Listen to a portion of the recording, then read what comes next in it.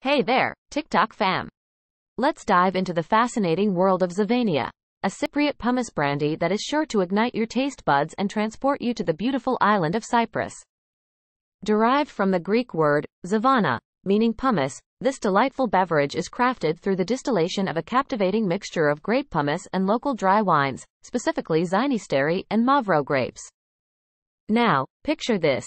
A colorless liquid, with an irresistible aroma of raisins that lightly dances upon your senses. That's Zivania. And here's another fun fact. The alcohol content of this unique brandy can vary, but its typical value is around 45% by volume, packing quite a punch. But hold on, there's more.